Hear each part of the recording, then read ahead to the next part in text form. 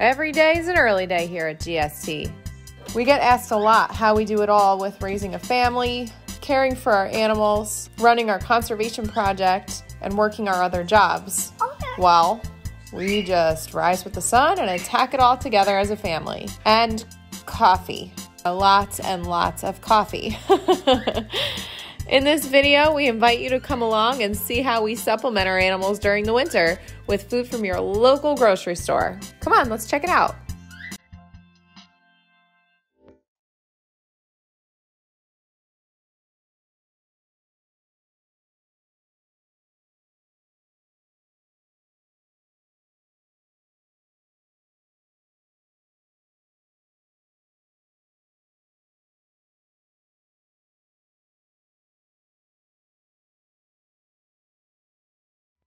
Something that's all too common in turtle and tortoise keeping is the use of fruits. Now, of course, they're going to love the taste of them because they have sugars in them, but the problem is most tortoise species and turtle species cannot process or handle the sugars that are in them. So things like bananas should be used sparingly, if ever. A better choice is going to be some of your berries, like strawberries, blackberries, and blueberries. Still, those should be used only in moderation. They can be fed a little bit more to species like box turtles, but when we're talking about something like a Russian or Hermann's tortoise, for example, this is pretty much a big no-no.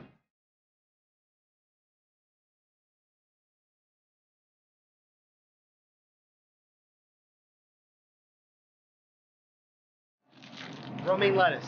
Lettuce feeding, another very popular thing. Lettuce is really only high in one thing, which is water. So that's kind of all you're giving your animals when you use it. They do, of course, love it. One good thing about romaine lettuce, it's going to be a little bit higher in certain vitamins than, say, iceberg. So iceberg should really never be fed. Romaine can supplement and be fed sparingly. Some better choices are going to be endive and radicchio, again, sparingly, and all this stuff needs to make up a diet together, not just be one item fed at all times. So we get that not everybody has the uh, massive collection that we have. We have hundreds of animals that Papa to feed. So a lot of the times we do order uh, from a wholesaler um, a massive amount of greens all at once so that we can feed everybody all at once. But if you need to come to your local grocery store to feed your, your tortoises or your turtles over the winter, you can grab these prepackaged greens, things like arugula, which is in the dandelion family. Um, get spring mix, um, Kristen touched on getting romaine lettuce, but it's all here for you at your local grocery store. Fish counter. Going to be expensive, but this can come in handy for a lot of other species like snapping turtles, painted turtles, diamondback terrapins. Fresh seafood is going to be better than frozen, but this is the kind of stuff that you can use to supplement like a, a, commercial diet of pellets. Tomatoes are another common offering to a lot of turtles and tortoises, but they shouldn't be fed. They actually come from the same family as something called deadly nightshade. So the leaves and the unripe fruits are actually toxic for these animals. The ripe fruits can be fed, but this is something that should really be fed in moderation. This is not going to do any good for the animals.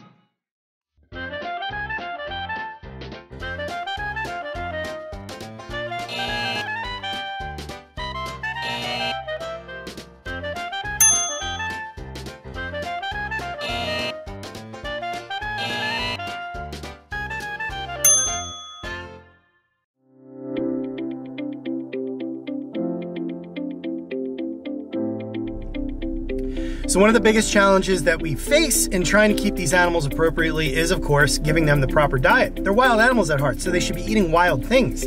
Tortoises are not supposed to be eating human-made grocery store produce, but when you put it all together in a well-balanced diet and you basically supplement things, you're okay. It's all about eating in moderation and eating healthy choices.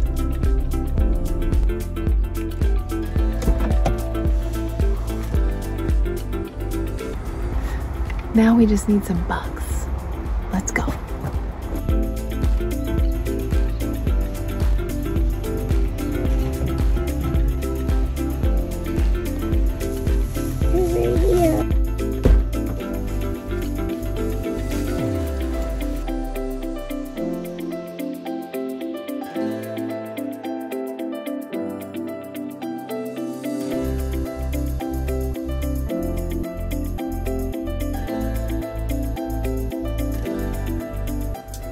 Took a ride out to PetSmart today to grab what we needed for uh, our lizards. Uh, we have lots and lots of crickets. Uh, some mealworms, some waxworms, some hornworms. Uh, the guy at the store was so nice. They just got a new shipment in and he actually sorted through the whole thing for me and gave me some fresh bugs to feed our, our little guys. So let's go see who tastes what. So meet Dwayne, our Godzilla giant leopard gecko. Um, he's gorgeous. He's fat. He's wide. I love him.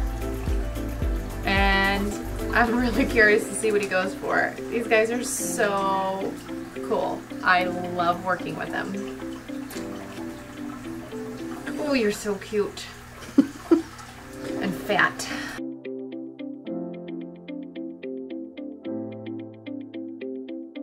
As it turns out, Dwayne, our giant leopard gecko, was not interested in anything we were offering him, but luckily, one of our other leopard geckos took a hornworm down so you guys can see what that's like. In the meantime, let's go see if any of our other lizards would be interested in these apparently delicious worms. This is a hornworm. This is one of the worms that Casey was talking about. We're gonna try out our Ackie monitors, which are the Australian dwarf spiny tail monitors. Uh, they're young, they're only a few months old, so they got a little bit of growing to do, but we're gonna see if they like hornworms. They're used to eating other insects like crickets, mealworms, waxworms, and dubia roaches.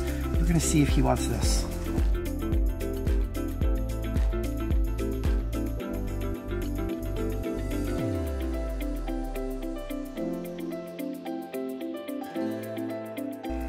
These guys are so cool to watch eat. They will wrestle with their food, they'll just violently attack it. They're full-blown insect eaters, and it's just super comical and just awesome to see. We've got three of them in here, and he is gonna do whatever he can, he or she, we don't really know the sex of them yet because they're so young. We're gonna see what this guy or gal does to take this hornworm down. And this is good. This It's good for them to exert this energy and have to hunt like this. When it comes to tortoises, we don't like to force any supplementation onto them except for giving them like cuttlebone throughout their enclosure. Sometimes we'll give them calcium powder on their food items. Females that have just recently laid eggs or need to lay eggs, the babies occasionally. But again, our tortoises spend the vast majority of their time outdoors where they're getting everything that they really need. So they don't really need anything else forced on them. When it comes to our lizards, they definitely need to be supplemented. What about you? You want this? I don't think you're gonna like the taste of it. Trust me, I've gotten it in my mouth, it's disgusting. This is calcium powder, and these are multivitamins which are very important for lizards and other reptiles too. But in this case, we're going to show you how we dust our crickets and other insects with these powders. We do this like every other day for the lizards. Sometimes we'll do multivitamin, vitamins, sometimes we will do calcium. Today we're gonna do calcium. It's real easy and the lizards still eat the insects no problem and they get that added nutrition that they need.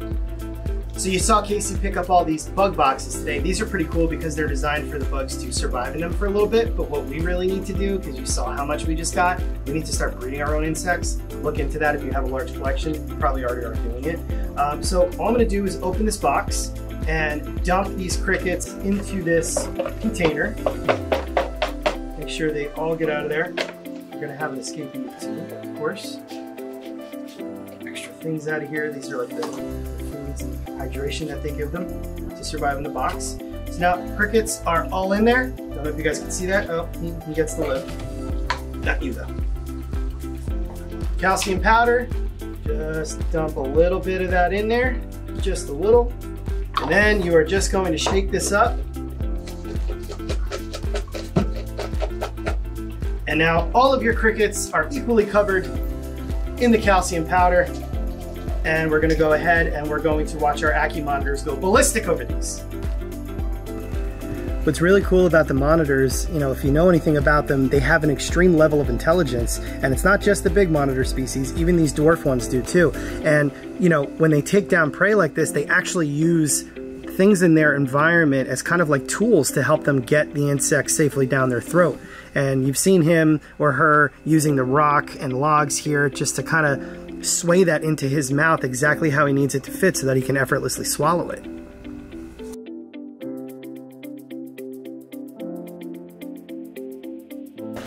Okay, on to some vegetarians now. What you're getting to see are some of our tortoises that are awake for the winter inside our building enjoy the greens that we just picked up for them. We brought them out here and put them on the table so that we could get some really nice, crisp, clean shots for you to see how they take these foods. Most of them wasted no time eating. A couple of them were just a little bit more into being curious because they were out of their exhibits. Now there are so many other choices to feed. These are just some easily accessible ones because I'm sure a lot of you can only just simply get to a grocery store during these winter months. The key is that they go back outside and they spend most of their lives outdoors where they can live naturalistically and eat better things for them. Variety is key, I can't say that enough, and we even use a little bit of commercial diet about twice a week in the form of Mazuri Tortoise Pellets 5M21 formula.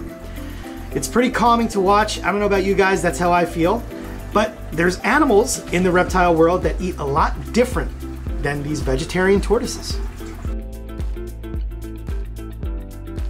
So, vast majority of our snakes are hibernating right now in the nature room as it gets cooler, but we do have a couple of snakes on the other side that are still awake, like this yearling California king snake that belongs to our daughter Cece named Pumpkin. So, viewer discretion advised.